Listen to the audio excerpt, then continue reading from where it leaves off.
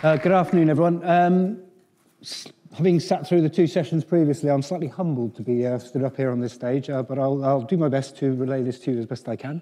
Um, I'm going to be talking about um, emerging technologies, including artificial intelligence, and some of the work that we're doing at Oracle with uh, a charity called the World Bee, um, uh, the World Bee Project, hence the picture of the two bees behind me. Okay.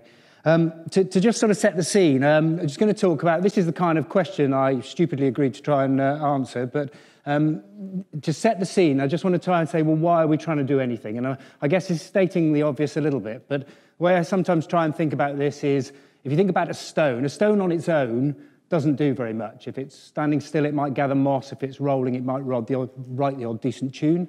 Um, but other than that, it doesn't serve much purpose. But if you put it into a, a particular part of a structure, it starts to take a, a, much more key role and it becomes what's known as a keystone.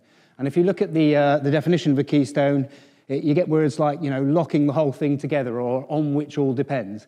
So if you take that down and go back to bees, um, it's linking that uh, while this a stone becomes a keystone, a bee is what's known as a keystone species. And what bees and other pollinators do is a keystone process. Uh, to put that process and the uh, importance of it in context, I've just got some, some numbers here. First thing to realize is if you're just thinking about bees as being either bumblebees or honeybees, there are actually 20,000 species of bees. There are more species of bees than there are birds. Um, uh, and the honeybee is only one subspecies of that. 77% of all food, so two mouthfuls in every three mouthfuls of food we eat, depends on pollinators. And to put the importance of the honeybee in context, about half of that, so a third of all food, gets pollinated by bees. So they're, they're a pretty important species uh, and therefore very you know, key. Um, that equates to something around 577 billion. There's a range there in terms of a global annual um, uh, food industry based on pollinated foods with 1.5 billion jobs dependent on that industry as well. Um, and the other really sort of significant figure there is the 87%, which is 87% of all plants depend on pollinators. So it's not just food, um, if we didn't have pollinators, we wouldn't have food, but we also potentially wouldn't have oxygen uh, with plants using photosynthesis and turning carbon dioxide to oxygen. So they're really important, but there is an issue, as you can see, almost every day in the, in the newspapers um, with the decline in insects and the decline in species and the decline in pollinators in particular.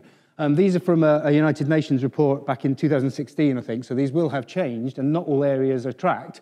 Um, but in the EU, 25%, there was a 25% decline in honeybees in, in 20 years, uh, 40% decline in, in honeybees in the US in something like 10 years, and really frighteningly, a 45% decline in the UK since 2010. So that was probably about seven or eight years or something like that. Um, so that, there is a problem. Whether those, whether those figures are exactly accurate now or not, I think is that there's an accepted problem, there is a decline. Uh, and much of the reasons for that are known. So the reasons are known around potential overuse, over-intensified farming methods between uh, disease uh, for bee health um, and different land management, etc. But not everything's known. And one of, the, one of the things that came out of that 2016 report was that there was a lack of data, of data, underlying data to support sort of further research into it. And this is why Sabiha Malik is the founder of the World Bee Project, founded her community interest company, the charity um, uh, to, to look into the reason why. And she wanted to underpin that with science, and then she wanted to support it with technology, which is when she came to Oracle and we started to get involved. And the way that Sabiha looks at it is um, she looks at the whole thing as being everything connected. So it's not just about the bees and it's not about climate change and all. It's about everything being connected. And she has this sort of vicious circle that she thinks of in her mind about the decline. Um, and when I think about where, she, where you start on this circle, I'm sort of reminded of that joke of someone asking someone, can you tell me the way to the town hall? And they say, well, yes, but I wouldn't start from here. Um, but the, the, the point where she starts is with the bee decline. Now, something obviously causes that, but if you start with the decline in the, in the bee pollinators, what that can lead to is then a decline in gene, um, genetic variability, which can then lead to a further decline in biodiversity, which then puts more pressure on people using more intensive farming methods, which change land use, which then has a knock-on to the climate, which then has a further knock-on to a uh, decline in, in pollinators. So she's got this sort of picture in her mind, and she's got a way of, her goal is to transfer that into a more positive circle, which I'll come to at the end, um, which I guess is the big, bold prediction bit. Um, Anyway, so, so where, where does um, technology come into it? Well, so the, the key bit underlying this in terms of getting more technology to support what we want to do is the idea of trying to support the WorldBee project to establish what she calls a global hive network, which essentially um, involves putting sensors on beehives uh, in multiple areas around the world. These two on the left as you're looking are um, our two highs where we've just been doing most of our sort of test work in Reading outside the offices in Thames Valley Park. And you can see they're sort of set on weight scales and there's a number of different cables and sensors tracking things like temperature, humidity, and also noise, which I'll come back to in a minute as well, about the acoustic, the noise that the bees make, because you can tell a lot about the behavior of the bees and the health of colonies through the hum that they're making as well. Um, and what you see on the, on the right as you look here is just fairly simplistic, just to show that there is kind of inherent value in that data immediately that comes off a single hive, that you could see, that a beekeeper could see whether their hive was functioning healthily. Uh, the green line there is uh, the, the weight of the hive, um, and this is a period last October, so almost a year ago when we first sort of put these sensors on that particular hive. And you can see at the beginning of October, when there's those last flowering, um, probably ivy in, in, in the UK, uh, flowers there. The bees are going out foraging, and you can see the weight going up and then just going down as the moisture is fanned off overnight. Um, but then as you get towards the end of October, you can see it just going down because there's nothing more for the bees to forage on. It's a massive leap where the beekeeper's probably putting some extra food in or something. Um, and then the other thing that's overlaying it is temperature, going up today, down to the night, outside. Now, that's just an example, just to show that a beekeeper can see inherent value. But where, where we hope to bring value, and we're not there yet because this is going to take a long time to build up, but is if you imagine having thousands of hives in lots of different regions of the world with that data coming in and being able to overlay that with other information about pollution or land management or, or whatever, then you could start to use the real power of sort of machine learning and AI to look for those patterns and try and see associations of the data with bee health in that particular region. Does that make sense?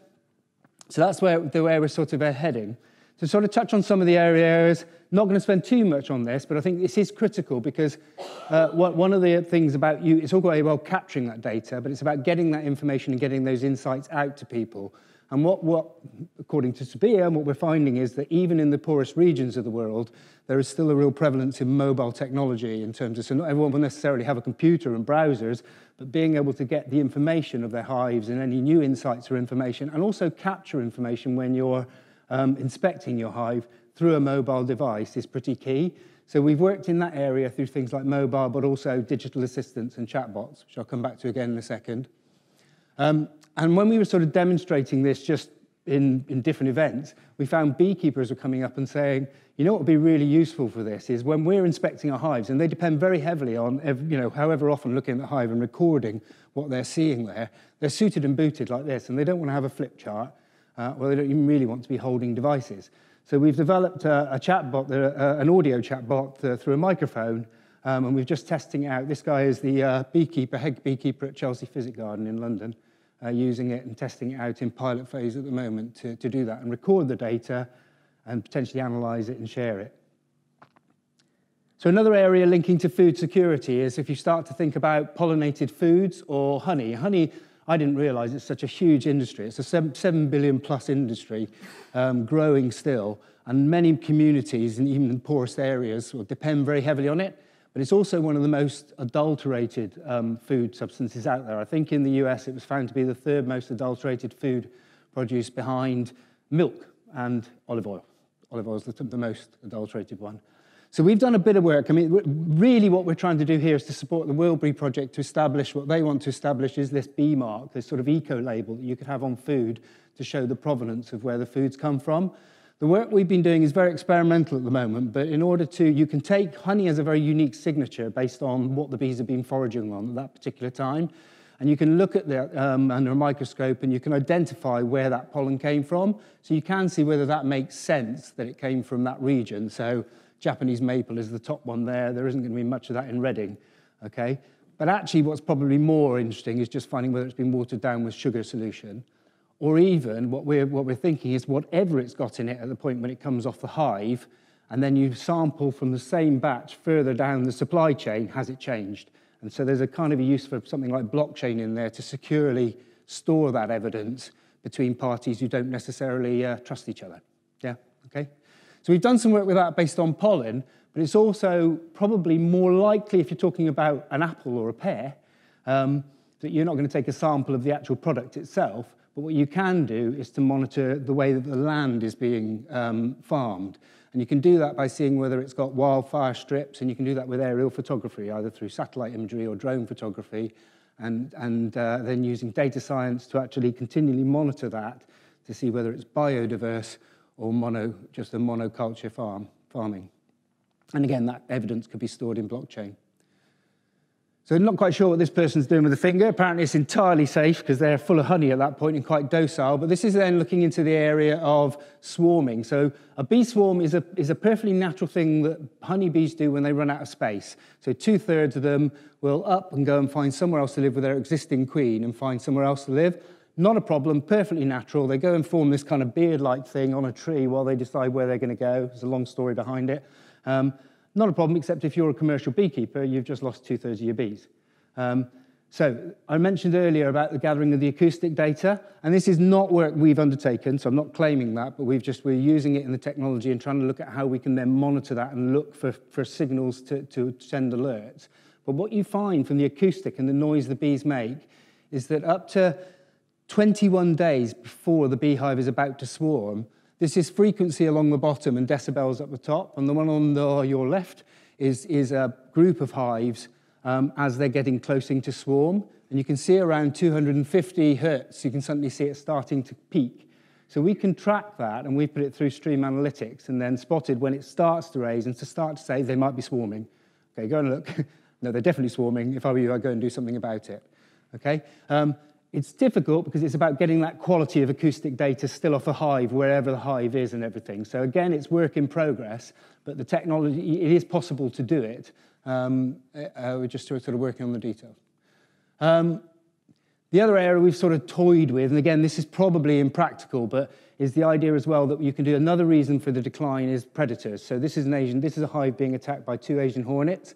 So again, what we did was we took images uh, took a high definition video and you were able to spot, you can just about see the big squares spotting that those are bees and the, big, the small squares are hornets. Again, in practice, you can imagine that in the middle of Kenya, you're not going to have high definition cameras on a hive and you might be more likely to spot that through um, the acoustic, the noise that the hornets are making instead, which would be cheaper if you've got the microphone on anyway. But it just, we've been doing this kind of work just to spark ideas really, and maybe in the future, who knows, maybe, maybe it all becomes cheaper and we will be able to do it. Um, but these things are a big problem. I was talking to someone in an event in Spain whose family has 50 hives, and half of them every year are wiped out by Asian hornets. So it's, it's a significant problem. So it's kind of a real whirlwind. I can talk about this. I've, in the year I've been working on this, I knew nothing about bees about a year ago, and I'm kind of a bit of a bee geek. So uh, there's lots of, it's very interesting, for example, the reason why they, they make that noise when they change in swarm. I haven't got time to tell you now, but if you want to catch me afterwards, I'll tell you because it's quite an amusing story. Um, but I guess I want to just finish in the last sort of couple of minutes in terms of coming back to the starting point and saying that, you know, I, I remember presenting this earlier in the year at an IoT meetup or something, and someone put a comment afterwards about, oh, Oracle's application is never going to save the world or something, which is a bit, a bit, a bit harsh, I thought. And we're not pretending to. I think, you know, uh, Sabiha believes that the only answer, there is an alternative solution, but it's only going to come from strong collaboration from lots of different organizations, including other large technology corporations like Oracle as well, and us all kind of working together. And it kind of links back to the session I was listening to earlier as well, because if I'm going for my kind of big, bold um, uh, hope, shall I say, or prediction, I think, you know, there was this talk about whether technology can inform policymakers and governments, because it does need governments. And governments elsewhere in the world, in India and in Africa, are looking to invest in this quite heavily because they know their livelihoods are that people's livelihoods are based on it.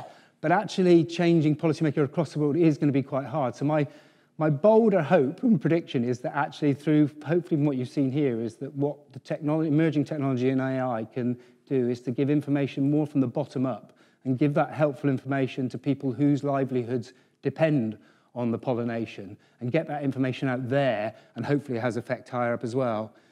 So to close, I'll close on the, um, I guess Sabiha's vicious circle, I'll go back to the, the positive side of that, um, which is where, where she really, really hopes to get to, is where you, um, I've forgotten the name of it now, Um, but it's, it's where, where the sustainable farming, and there's a word, EI, I've forgotten what it is, but um, ecological intensive farming, that's the word, the phrasing. And she wants to really encourage and give people the information to be able to do that. And if they're able to do that, what that does is improve biodiversity of the land, which improves bee health, which increases yield. And that's known that it increases yield if you use pollinators to do it. And from doing that, you, include, you improve uh, livelihoods of the farmers, which in turn, you know, makes them use more ecologically intense farming. So that's the kind of the positive circle that she's hoping to go to. And I guess my bold prediction will be that through the collaboration of all these different people and the use of emerging technology, that, that we'll get there. Thank you very much.